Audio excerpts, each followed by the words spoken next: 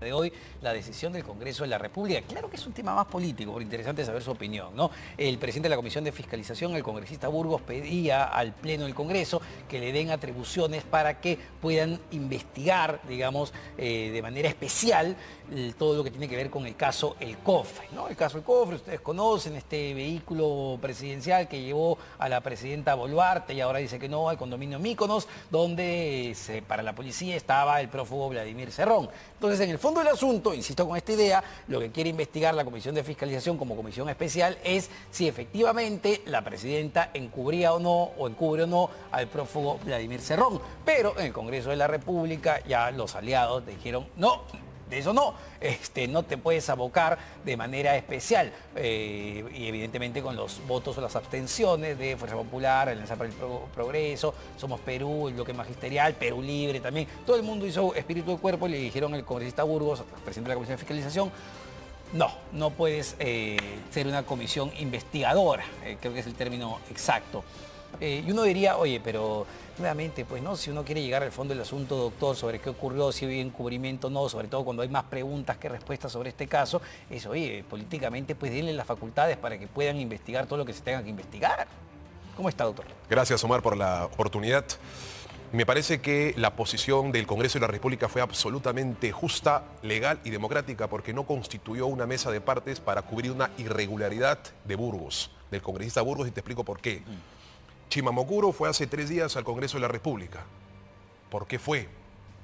Se citó a la escolta de la presidenta respecto al caso Cofre. Entonces, si es que ya estaba investigando el caso Cofre, ¿por qué es que recién pide la delegación para investigar formalmente ese caso? Lo que hizo Burgos fue clandestina, y lo digo así, clandestinamente estaba investigando, tras esta fachada de investigación de esta comisión, a la presidenta en el caso Cofre. Si ya tenía delegación para poder hacerlo, ¿por qué es que pide resigna delegación al Congreso de la República? Lo que ha hecho Burgos es regularizar ese defecto de estructura que había inicialmente planteado y el Congreso de la República con justa razón no permitió y no fue cómplice de esa irregularidad. Sí, claro, pero segundo entiendo, lugar, entiendo que pide justamente las facultades de comisión investigadora para, que, para que eh, cuando la comisión llama, cuando llama justamente a un testigo, tenga que ir de grado fuerte. ya lo estaba investigando.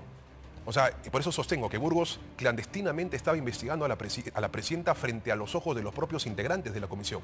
Y lo que hizo ahora simplemente fue regularizar ese defecto que en su momento no se le había otorgado. Y felizmente la representación parlamentaria, sea por abstención o negación, no fue cómplice de ese defecto que es estructural y que en perspectiva nuestra constituye una falta ética al parlamentario. No es la labor además del Parlamento, es decir, el Parlamento dentro de sus funciones, aunque parece que a veces se han olvidado ahora con la presidenta Dina Boluarte, no era así con Pedro Castillo, tiene justamente el rol del control político. Sabemos muy bien que el Ministerio Público es el que investiga el delito, pero el Parlamento y sobre todo una comisión de fiscalización tiene que hacer el control político respectivo. A ver, dos posiciones respecto al particular. La segunda, ¿cómo alguien pretende investigar un caso como este si es que ya asumió una conclusión? Burgos es una persona preconceptuada, es una persona contaminada con sus propias versiones. El día lunes y el día martes, a propósito de la visita de Chimamocuro, él señaló que va a desmontar las frases impropias de Palacio de Gobierno y se va a ser el encargado del Congreso de la República para, para controvertir las expresiones que había dado el vocero presidencial y el premier. Es decir, el presidente de la Comisión de Fiscalización, que debe tener neutralidad, control en las expresiones y debe cautelar la imparcialidad de una comisión, preconceptó y adelantó opinión. No tenía legitimidad ni capacidad ni ética ni legal para poder investigar. Y en segundo lugar, hay que convocar a la paz y no a la guerra. Se ha dicho mucho de este caso, pero se sabe poco. Se han dado muchos protagonistas en varios capítulos, pero el capítulo principal y el protagonista o la protagonista principal será la Presidenta de la República cuando el, fiscal de la Nación, si acaso le interese escuchar su versión, porque hasta el momento Omar no ha sido citada para expresar su razón, sea convocada. Yo, entiendo nuevamente su, digamos, su función como abogado de la Presidenta y, lo, y lo hace muy bien, pero creo que la Presidenta Boluarte más que esperar a que el fiscal de la Nación la llame para declarar, debería pues darle una explicación real a la población. Y lamentablemente eso es lo que ha faltado. Pero usted mencionaba, mencionaba al congresista Burgos, vamos a escuchar qué es lo que dijo exactamente para ver si efectivamente ha perdido o no ha perdido neutralidad el presidente de la Comisión de Fiscalización. Se verifica la alianza infame que existe entre el Poder Legislativo, muchos miembros del Poder Legislativo y Palacio de Gobierno. Pero no obstante, quiero decir al Perú que no cesaremos en nuestras indagaciones. Y sobre todo, un llamado a todas las bancadas, a las bancadas que se han abstenido, a las bancadas que se han, que se han coludido con el gobierno, que nosotros vamos a seguir investigando.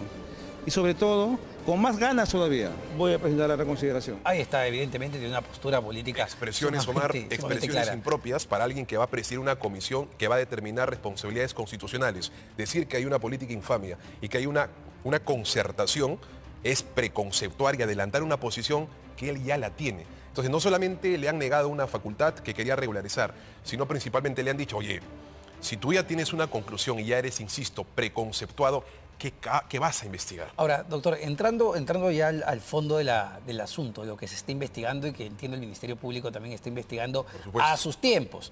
Eh, esta, esta divergencia o discrepancia, contradicción que surgió entre el presidente del Consejo de Ministros, que luego se rectificó, y el vocero presidencial, esta figura que se ha inventado la presidenta Dina Boluarte, el señor Freddy Hinojosa, si estuvo o no estuvo en el condominio Miconos, usted, desde el lado de la defensa legal, que es ya, digamos, la parte más formal, lo que usted diga es lo que sale, entendemos, de la boca de la presidenta Boluarte, porque es su abogado.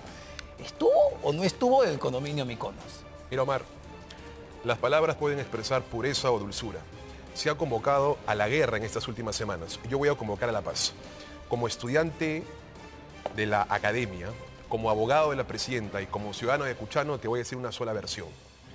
Hay que respetar las instituciones, hay que darle importancia a la institución del Ministerio Público como único mecanismo constitucional y democrático para llegar al camino de la verdad. La presidenta de la República, en las cuatro veces que ha sido citada, en las cuatro ocasiones, pudiendo hacer uso de su derecho a guardar silencio, ha entregado la información y en la primera cita ha acudido a entregar la información. La presidenta, e invito al fiscal o a la fiscal que mañana juramenta, Doctor. inviten a la presidenta de la República porque hasta el momento se ha dicho mucho, Omar.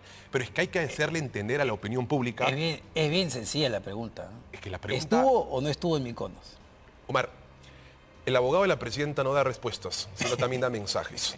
Y el mensaje es que hay que respetar la institución de la Fiscalía como el camino para llegar a la verdad. ¿Por qué le cuesta decirlo? ¿O por qué, no usted, la sino la presidenta? de la República, además de ser una ciudadana que respeta la reserva y la secretitud de la investigación, es además abogada.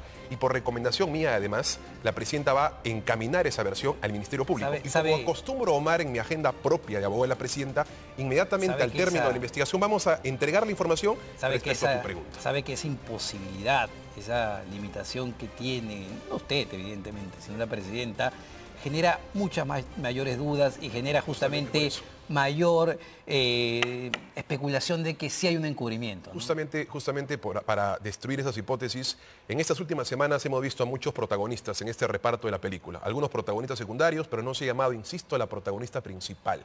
Y cuando la protagonista principal sea convocada por el productor de esta película, que es la nueva fiscal a partir de mañana, iremos, Omar. Y el público y la opinión pública entenderá por qué es que la presidenta ha hecho eco el silencio estas semanas para entregar esa información en la institución muy, que corresponde. Muy en corto, muy en corto, doctor, porque me, me mata con el tiempo, pero no quería dejar eh, de tocar el otro tema, porque esta semana el Poder Judicial también, entendemos, le ha dicho al Ministerio Público, oye, ya, se les pasó el tiempo, o este, acusan a la presidenta o archivan el caso de la disolución del equipo especial de la policía que apoyaba al equipo especial del Ministerio Público, donde, digamos, el más conocido, el, el coronel Harvey Colchado, ¿no? que hoy lamentablemente, lo que a todas luces creo que para muchos es una opinión personal, ha terminado cuidando puentes, lo que parece ser una venganza política evidentemente de la presidenta. Dos posiciones respecto de la pregunta. La primera, que la norma permite poder ampliar la investigación dentro del plazo inicial, muy resumidamente. El plazo inicial era de 60 días y lo amplió en el día 75 a 8 meses. Y en entre el día 60 y en el día 75 hubo un lío institucional entre Pablo Sánchez y el fiscal Juan Carlos Villena, que no quisieron investigar a la presidenta. Y esto les costó y lo que hizo el juez fue cautelar su principal bastión y su principal arma en un derecho procesal democrático, que es hacer uso de la ley. Y como consecuencia de eso, por una gráfica bastante sencilla, si es que el fiscal de la Nación solicita ocho meses para investigar y estos ocho meses han sido censurados por responsabilidad institucional, no tiene caso. Tiene orfandad probatoria y por coherencia institucional, Omar, así como el fiscal investiga para acusar, investiga para archivar. Creemos que esa va a ser la versión de la Fiscalía. Muchísimas gracias, doctor. El doctor Juan Carlos Portugal, abogado de la presidenta Dina Boluarte. Vamos rápidamente a una pausa, pero venimos para conversar con Javier Ichazo, gerente general de Mi Banco. ¿Por qué? Porque hay un estudio muy interesante que se ha hecho de la mano con Ipsos sobre la informalidad, sobre los microempresarios